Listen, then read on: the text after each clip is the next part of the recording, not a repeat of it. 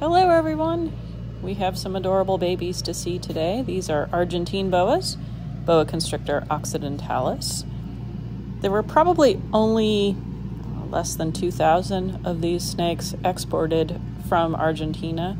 They were put on the CITES 1 appendix in 1987, and there have been no further exports since then. Jim has been breeding them since about 19, I don't know, 1980 something or other. so when the babies are born, we pull them out so we can clean the enclosure. So you can see that the mother here is I was moving away somewhat from you. protective, which is great. She's taking good care of her babies, and you can kind of see them all crawling around in there. And then once we get the enclosure all Seriously, cleaned out You're fine. and spick and span, we will put them back together with her until they shed for the first time. So here we are, just kind of scooping all these fun Oh, little Seth, babies does that out. make you happy? Lots of little baby snakes. Oh yeah. And the biggest reason these snakes are endangered is actually due to first the time. skin trade. She's right But that, of course, was stopped uh, in 1987 when they became listed on CITES 1. Currently, the biggest risk to them is probably habitat loss. Oh my god.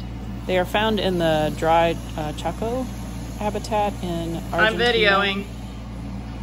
and a little bit in surrounding countries.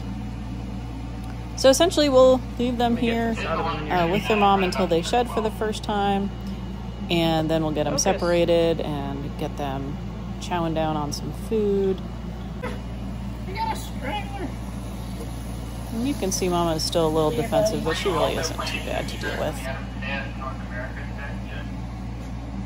Hope you guys, that's the last one there. I hope you guys all enjoyed seeing these cute little guys.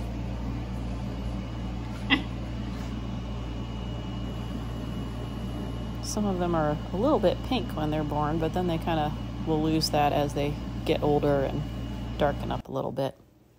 Remember to like and subscribe if you enjoy seeing our videos. Have a great day.